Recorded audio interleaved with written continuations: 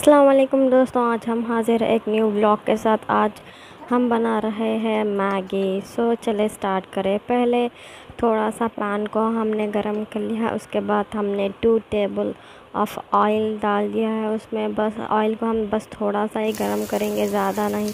अब चले डालते हैं उसमें अनियन अनियन को हमने अच्छे से चॉप कर लिया। है मैं अनियन थोड़ा कम ही खाती हूँ, मुझे ज़्यादा स्वीट मुझे ऑनियन खाने से थोड़ा स्वीट लगता है, उसमें मिठास आता है तो मैंने बस थोड़ा सा चॉप कर लिया है।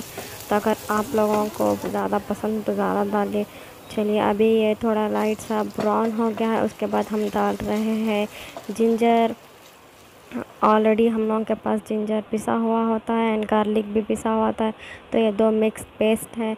तो हम इसे दो डाल दिया अभी हम डालते हैं बस एक चुटकी भर, बस थोड़ा एक पिंच ऑफ़ सॉल्ट क्योंकि ऑलरेडी मैगी मसाले में भी सॉल्ट होता है तो मैं बस थोड़ा सा प्रेफर करूँगी तो फिर मैं सोचा थ्री मैगी बना रही हूँ, मैं और थोड़ा सा बढ़ के डाल दी हूँ।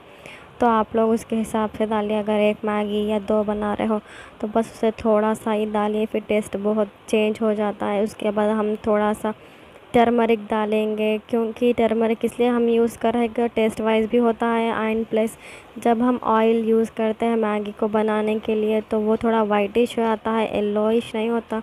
मैं फिर भी बस थोड़ा सा ही डाली हूँ, देखेंगे आगे चल के कैसा होता है। एंड हम इसमें ऐड करते हैं टमाटो मैंने टमाटो को थोड़ा अच्छा मोटा सा ही चॉप कर लिया है, थोड़ा तिक्सा अगर बहुत बारीक भी अगर आप चॉप करते हैं तो ये बिल्कुल भी टेस्ट वाइज बदल जाता है। इसलिए मैंने बस थोड़ा सा इसको अच्छे से मोटा काट लिया है। अगर आप चाहें तो इसलिए और भी थोड़ा बारीक काट सकते हो। तो मैं इसे अच्छे से मिक्स कर दूँगी पूरा ताकि इसे पूरा मसाला अच्छे से लग जाए मैं उसे रख दूँगी कुछ देर के लिए। उसके बाद मैं टमाटो सभी अच्छे से पक गए हैं। अभी हम ऐड कर रहे हैं इसमें मैगी मसाला। मैगी मसाला हम बस इसमें एक ही ऐड करने वाले हैं।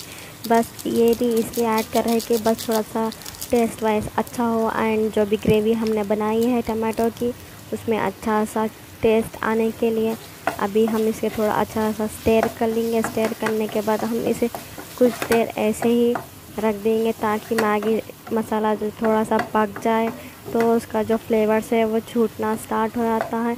अभी हम इसे कुछ देर ऐसे ही रख के पकाएँगे।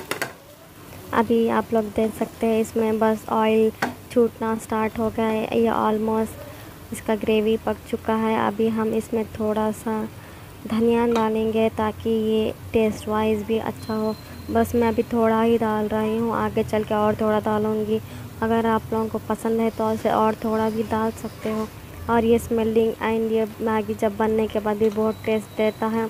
एंड बात अब भी देख सकते हैं, ये ऑलमोस्ट पूरा पक चुका है, ये पैन को चिपकना स्टार्ट हो गया। अभी हम इसमें ऐड करते हैं पानी।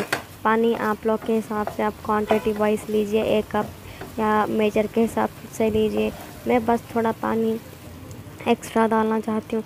मुझे उतना भी ड्राई नहीं पसंद है मैं थोड़ा ग्रेवी टाइप चाहिए। अगर आप लोग को ज़्यादा नहीं चाहिए तो थोड़ा पानी कम ही डाल लीजिए। तो अभी हम इसे अच्छे से स्टेयर कर लेंगे ताकि पूरा मसाला इसमें अच्छे से घुल जाए। क्योंकि हमने ऑलरेडी एक मैगी की पैकेट इसमें डाली थी।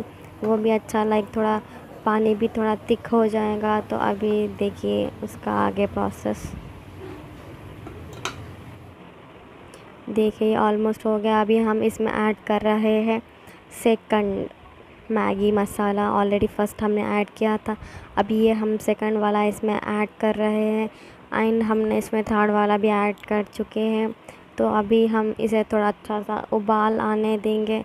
देखिए इसमें उबाल भी आ चुका है। इसे थोड़ा मसाले को हम अच्छे से मिक्स कर लेंगे ताकि ये अच्छे, पानी में अच्छे से घुल जाए। नहीं तो ये पूरा लम्स बन जाएगा। पूरा लुंडे लुंडे बन के ये बिल्कुल भी टेस्ट अलग हो जाता है। अभी हम इसमें डालते हैं मैगी।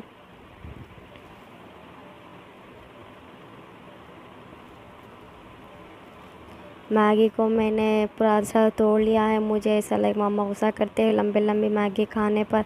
तो हम लोग के पास ज़्यादातर मैगी को तोड़ के ही बनाया जाता है। ये बिल्कुल भी ठेले टाइप बनता है। तो अब मैं आगे और मसाले बताऊँगी इसमें क्या क्या डलते हैं, जो ठेलों पे जो डलते हैं। तो मैंने बस एक टेबल स्पून नूडल्स मसाला जो होता है ढोलने पर अक्सर यही यूज़ करते हैं। ये लोग एंड मैं उसे थोड़ा अच्छे से स्टेयर कर लूँगी ताकि ये गर्म पे मैंने डाला है। तो फिर इसमें लम्स बनने के चांसेस बहुत होते हैं। तो जब का जब डालने के बाद आप लोग इसे अच्छे से स्टेयर कर लीजिए ताकि इसमें लम्स ना बने।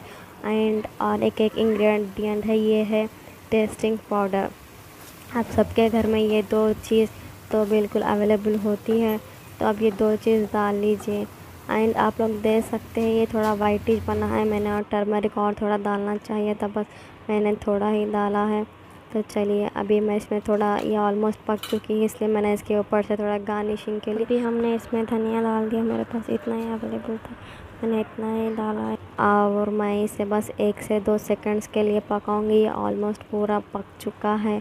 उसके बाद हम लोग इसे ढक देंगे एक दो तीन सेकंड्स के लिए, उसके बाद हम इसे सर्व के लिए ये स्टार्ट हो जाएगा। ये बिल्कुल भी ठेले जैसा टेस्ट आएगा। आप लोग कभी घर पे बनाइए, देखिए टेस्ट वाइज देखिए।